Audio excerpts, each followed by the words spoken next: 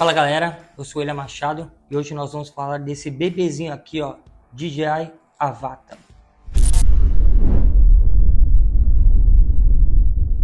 Bom, e por que que tá todo mundo no mundo inteiro, literalmente, loucamente, por esse robozinho aqui, ó, olha esse dronezinho aqui, DJI Avata.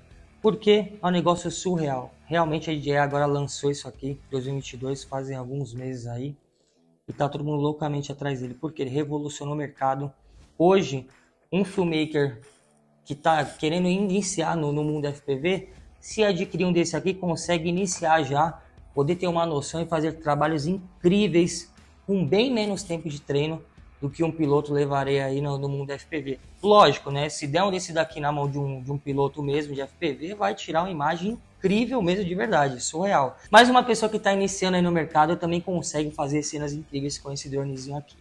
Bom, vamos começar por partes aqui. O Avata é um dronezinho pequeno, relativamente leve, tá? Ele consegue ter uma resolução hoje de 4K em 60 fps e consegue trazer também um 1080 para nós com 120 fps. Então, para a linha cinematográfica para nós, a gente consegue fazer um trabalho muito mais incrível, dando slow motion e tudo mais, coisas que eram mais difíceis para nós em outros tipos de drones, tá? Os drones convencionais, hoje em dia a gente não consegue fazer um trabalho da hora, até consegue, mas não o que esse aqui traz. A gente consegue fazer, né, cenas normais, orbitando tudo mais, mas o que esse aqui traz a gente não consegue fazer. Esse aqui realmente revolucionou. Por quê? Ele é um cine-up, tá? A gente pode, digamos assim, ele é um cine-up. A gente consegue fazer voos indoor, passar, passar perto das coisas e tudo mais, e consegue ter velocidade e liberdade para gravar com ele fazer, em vez de fazer cenas né, retinhas, estabilizadas, não. E aquela cena de ponta cabeça girando tudo mais, aquela firula total. E realmente é o que hoje em dia vende bastante nas produtoras, vende bastante no mercado. Então ele traz um, uma grande qualidade, com uma grande loucura de cena. Para chegar na, na, capacidade legal dele aqui, nós temos dois tipos de opções. Vamos, vamos, vamos por opções aqui. Primeiro, com esse aqui, ó, o Motion Controller, a gente consegue fazer igual um, o olha aquele Nintendo, cara, Nintendo, Nintendo Wii, Nintendo Wii consegue fazer aqui, ó. Ele vai mexendo, tudo mais tal. Mas nós só conseguimos voar no, no modo normal e no modo esporte com esse motion control. Até mesmo por segurança, tá? Para vocês não fazerem um tipo de loucura aí, né? Machucar alguém e tudo mais. Você consegue fazer um voo legal, porém limitado. Tem, tem uma certa velocidade, mas é limitado em algumas manobras, tá bom? Agora, com o controlezinho, aí a parada fica séria. Aí a parada fica louca demais. Você consegue realmente ativar o modo manual dele, que é o modo FPV, o modo acro. Tem vários tipos de nomes que a galera fala. Mas você consegue ativar esse modo aqui e voar 100% dele. Então, realmente, fazer as manobras de ponta-cabeça, fazer o loop, girar, tudo mais. Bem interessante assim, girando também. A gente consegue fazer manobras excelentes. E isso é muito bom na cinematografia. Igual eu falei, a gente consegue trazer cenas excelentes desse modo. Do outro modo, a gente consegue fazer normal, né? Modo normal, modo esporte, a gente consegue fazer algumas cenas mais tranquilas, tal. É bonito? É, diferente? É, mas se você quiser chamar a atenção mesmo do, do, do cliente, aprenda a voar em modo manual com o seu rádio, tá bom? Segundo alguns testes da galera aí, então pelo rádio você consegue chegar até 10 km, tá? Em campo aberto sem nada travando o sinal ali. Se você for voar indoor, com certeza isso vai reduzir bastante, então vai muito de, de testes de cada um, tá bom? Com o motion control você consegue chegar até 5 km aí, esticado, sem, sem nada tampando, né? Sem nenhum tipo de bloqueio. Dentro do... fazendo um voo indoor também você consegue fazer, porém, né? Tem aquelas limitações. Quanto mais barreiras, menos o rádio pega ali, menos o sinal pega. Então vai muito de teste de cada um mas é sempre recomendável mais um, o radinho para voar. Além dos rádios aqui do rádio do Motion, nós temos aqui o DJI Goggles V2, tá bom? Nós temos ele aqui. Tem a nova versão que é o Goggles 2, são diferentes. Nós temos aqui o Goggle V2, tá? Ele já veio no combo aqui. Você consegue fazer a configuração do avatar dentro dele, tá bom? Então você vai configurando, você consegue ter a parte de estabilização dele aqui dentro, consegue regular a parte de estabilização do drone, consegue fazer a parte de coloração também. Tem dois modos de coloração. É, você consegue fazer um, um modo mais contrastado e um modo mais lavado. Para nós, somos filmmakers e vemos o cinema, o modo mais lavadinho é melhor para a gente poder fazer aquele tratamento na pós-produção, mas vai muito a gosto de quem está gravando no momento, tá? Você consegue fazer o plug dele aqui diretamente para um celular, vamos colocar um aqui, né, digamos aqui, celular. Então, se você estiver voando e tiver o diretor de cena, ele consegue ver o que você está fazendo ali e tudo mais. Sempre recomendável avisar o diretor de cena, avisar quem está olhando a cena aí, que você vai passar lambendo as coisas bem pertinho aí, para ele não né, se assustar e jogar o celular no chão. Então, é sempre bom recomendar quem está do seu lado. E é perfeito para voar. Nós temos uma tela boa aqui, a gente consegue chegar aqui num Full HD dentro da telinha. Temos as regulagens aqui, tá bom? De, de, de, de olhos aqui, então você consegue colocar um pouquinho mais para um lado, um pouquinho mais para o outro. Já o Goggles V2 você consegue colocar para frente e para trás, então vai muito de, de ajuste, tá? Ele pode apertar um pouquinho aqui, mas nada que, que, não, que não ajuste com o tempo, tá bom? Não dá para voar de óculos, é ruim voar de óculos, então você tem que voar realmente ele sem óculos, tá bom? Se tiver lente de contato, melhor ainda. Mas ele dá uma visão boa, você consegue regular bem certinho aqui, dá uma visão boa.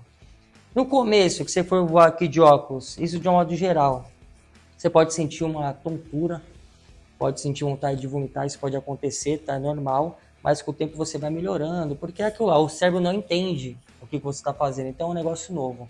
Bom, outra coisa que eu quero falar para você é o seguinte: vocês estão emocionados querendo comprar o drone, pô, tá barato a vata, eu quero comprar, quero voar, quero entrar no mundo, no mundo FPV. Meu amigão, minha amigona, vai treinar primeiro arruma um simulador, tá bom? Tem um simulador oficial da DJI, tanto para Mac quanto para Windows, iOS e Android. Você consegue instalar nessas máquinas. Eu não sei se para Mac ainda tem, tá? Mas vai dar uma olhada aí, mas os outros três tem sim. Para você treinar, porque é difícil, você vai pegar lá e os comandos aqui, principalmente no modo manual, é muito complexo. No esporte e no, e no, e no normal você consegue voar rapidão, vai pegar rapidinho. Agora no manual já vai ficar sinistro. Então vai treinando para você não bater o drone, porque a legislação aqui no Brasil é bem complicada. Então se você machucar alguém, derrubar um avião, um helicóptero, aí sei lá, acertar um passarinho já é complexo. Então imagina se acertar em alguém aí, derrubar um drone e fazer um acidente. Então vai treinar primeiro antes de voar. Quando você estiver bom no simulador, aí você sai para rua para treinar. Se for treinar, treina baixinho, treina dentro da sua casa, sempre regulando bem seu drone aí, vendo se os motores estão bons, tal, as hélices estão apertadas, para não causar nenhum tipo de acidente, tá bom? Bom, agora que você já entendeu aqui algumas configurações, para que serve cada coisa aqui, tá, que tá na mesa, seguinte, na parte dos filmes, na parte da estabilização, tem dois modos aqui no óculos, tá bom? Um modo, você consegue fazer a estabilização dele normal, né, que ele tira aquele brusco de, de virar, né, ele vai deixar mais suave o voo, e, aquele, e a outra estabilização que você vai conseguir deixar o voo retinho. Lógico, quando você estiver vendo aqui no, no óculos, né, vai estar tá olhando aqui no óculos, ele vai estar tá torcendo tudo. Mas o sistema dele, quando passar direto para o computador, já vai estar tá passado estabilizado. Ele tem o, a inteligência artificial que vai estabilizar para vocês, tá? Tem essa parte do horizonte que deixa bem retinho. Então, por mais que estava no tudo torto, ele vai estabilizar na inteligência artificial bem retinho, tá bom? E tem outra parte que mesmo você voando mais tortinho assim, ele vai deixar um voo mais suave. Agora, o principal aqui, se vocês quiserem uma melhor qualidade, nós recomendamos o Giroflow. Por quê? Você, é, desativa a estabilização aqui no óculos do, do drone, deixa desativado, tá bom? E vai voando tudo torto mesmo. Lógico, né? Algumas coisas você vai ter que fazer uma pós aí, mas tudo bem. De modo geral, você joga dentro do Giroflow e o Giroflow vai reconhecer toda, todo o arquivo e vai alinhar para você. Então vai ficar muito melhor, na nossa opinião, no nosso trabalho aqui de, de fazer, tá bom? Vai muito a gosto, vocês vão poder fazer todos os testes aí, mas no nosso gosto, acho que o Giroflow é bem melhor do que os que estão dentro do, do, da configuração do avatar do óculos, tá bom? Mas lógico, se você for voar alguma coisa que precisa estar tá retinho, coloca aqui o de o estabilizador de horizonte aqui, vai ficar bem melhor para vocês. Bom, vamos para a parte agora cinematográfica, que é a parte né, que vocês aí querem saber da gente. Aqui. Por mais que a gente tenha de drones aqui, vocês querem saber na parte cinematográfica, a parte que a gente entende realmente aqui, a parte que a gente gosta de trabalhar. Vamos lá.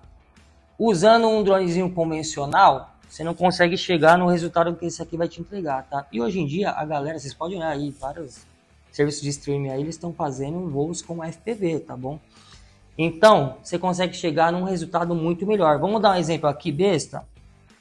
Se fosse com drone convencional, você consegue, por mais que você está usando aqui ó, o ângulo da câmera, você consegue fazer uma cena assim e o ângulo da câmera baixando e pegando aqui o, o assunto tá na mesa. Agora com esse drone, não, você consegue fazer isso aqui ó, com esse drone. Ó.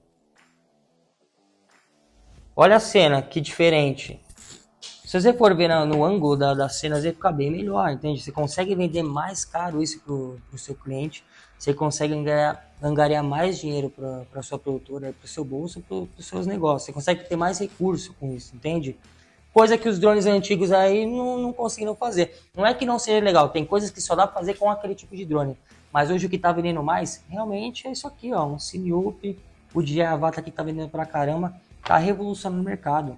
Para nós aqui é muito bom, a gente consegue fazer muita grana com um dronezinho desse, entende? Nós já fazemos com outro. Se você for ver aí, no vídeo passado deve estar no card aqui em cima, falando do DJI Spark, fizemos uma grana, uma grana violenta com esse dronezinho de, de entrada. Mas esse aqui é surreal. A parte cinematográfica dele engole todo mundo, na nossa opinião. Você concorda? Então fala, eu concordo.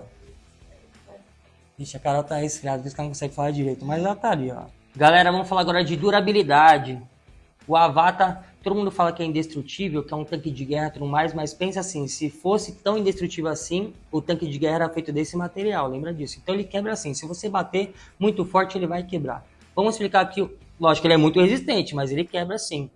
Nós voamos ele aqui a uns 15 metros de altura por aí, nós fomos passar uma árvore sem que ele bateu a parte de trás da árvore. Quando ele foi batendo tudo mais, ele tentou estabilizar, ele tem uma estabilização muito boa, foi tentando, tentando, mas quando ele bateu, ele pegou alguma coisa que nós não vimos e ele deu um trincado bem aqui, ó. Não sei se dá para ver na lente aí, mas ele deu um trincado bem aqui. Aqui onde passa a nossa comunicação da antena, tá? Então o que ele fez? Ele trincou e catou o fio da antena. Pronto. Um abraço. Até a gente achar o reto aqui, sabe o que que era? Aparecia um erro de, de, de propulsor. Ele não conseguia reconhecer o sistema automático propulsor. Então, lembrando aí, ó. Não é indestrutível o bom de tudo isso é que você consegue realmente tirar as partes do avatar aqui, montar, substituir, realmente abrir ele é, é, realmente um drone FPV. Você consegue mexer no motor, se precisar tudo mais. Lógico, né? Você vai perder a garantia do fabricante, mas dá para você mexer nele sim. Não é recomendável colocar outras peças até o momento, peças que não sejam feitas pela DJI, tá? É recomendável sempre colocar as peças feitas, feitas pelo fabricante, mas dá para você trocar assim, repor peças normalmente tá bom? Fica de, de aprendizado aí para todos nós. Nossas recomendações finais aqui, minha, né? Particularmente aqui, minha equipe não tá aqui, tá só a Carol. Recomendação da Carol também aqui, um dia vocês vão ver ela voando, que ela voa super bem, ela tem vergonha de ver aqui na frente, mas ela voa super bem. Seguinte, recomendações finais é aqui, mano. DJ Avata, revolução do mercado FPV.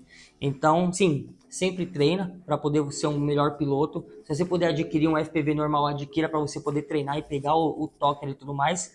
Mas se quiser já entrar nisso aqui de cara, pode entrar que a gente recomenda 100%. Aliás, tem o link na descrição de onde nós compramos o nosso. Nós importamos o nosso da China, 100% recomendável. Pode comprar de lá que a gente garante que é muito top mesmo.